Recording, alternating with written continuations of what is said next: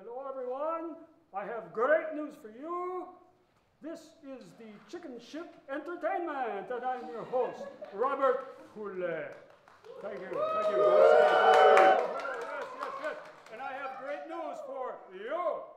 You get to see this brand new show, all new material, right from the top. Here it comes, just for you. I guarantee it will knock the socks off. Here it comes. What day of the week do chickens hate the most?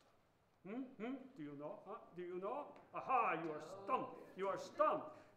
The day of the week chickens hate the most is Friday.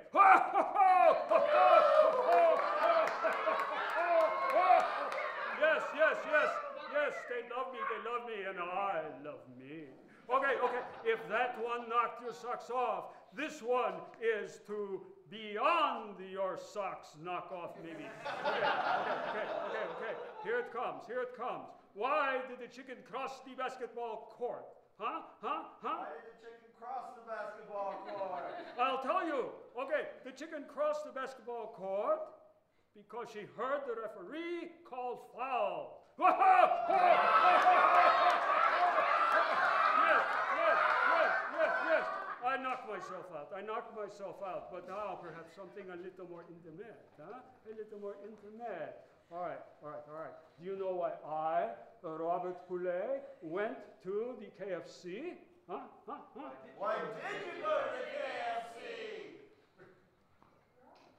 I went to the KFC to see a chicken strip. Woo, la, la. Thank you, okay. My friend Marcel Marceau was there. He was speechless.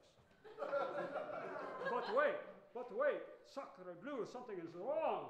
My, my, my feathers, my comb needs a comb. Please send a stylist to my personal coop at once. At once. Uh, not Pasha.